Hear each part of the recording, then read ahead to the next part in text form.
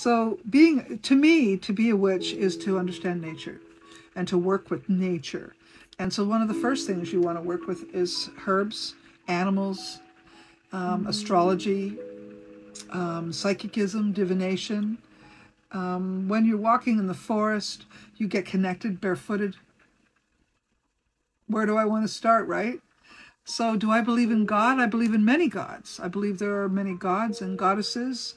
Uh, but do I believe in the Christian God? Uh, I have trouble with the Christian belief system just because of the things that have happened to people under its regime. And, uh, you know, like there's a lot of children buried in in the Catholic Church's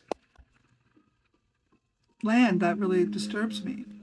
And a lot of people were beaten by no, I don't really like Christianity, I'm sorry to say, but I do believe in gods, all different types of gods, and I do believe in goddesses. In fact, uh, just to really stir up the room here, uh, I believe that the true God is a female because she can create. I mean, and apparently her name might be Sophia.